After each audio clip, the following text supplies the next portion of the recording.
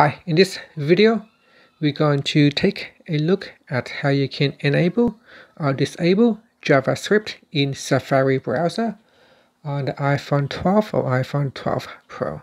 So if the website that you are viewing is not running correctly, it could be because JavaScript is turned off. So you want to go in here to make sure it is switched on.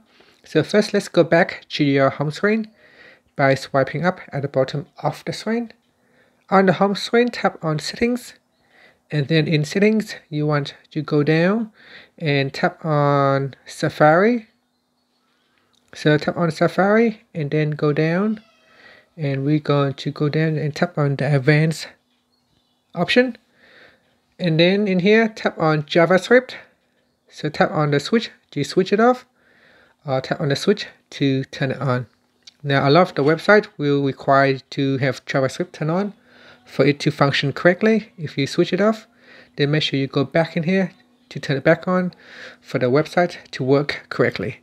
And that's it. Thank you for watching this video. Please subscribe to my channel for more videos.